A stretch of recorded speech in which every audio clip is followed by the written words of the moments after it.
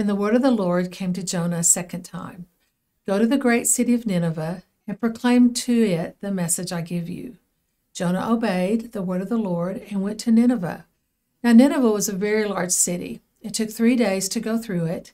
Jonah began by going a day's journey into the city, proclaiming, Forty more days, and Nineveh will be overthrown. The Ninevites believed God. A fast was proclaimed, and all of them, from the greatest to the least, put on sackcloth. When Jonah's warning reached the king of Nineveh, he rose from his throne, took off his royal robes, covered himself with sackcloth, and sat down in the dust. This is the proclamation he issued in Nineveh. By decree of the king and his nobles, do not let people or animals, herds or flocks taste anything. Do not let them eat or drink, but let people and animals be covered with sackcloth. Let everyone call urgently on God. Let him give up their evil ways and their violence. Who knows?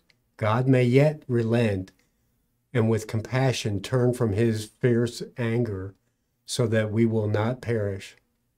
When God saw what they had done, what they did, and how they had turned from their evil ways, he relented and did not bring on them the destruction that he had threatened.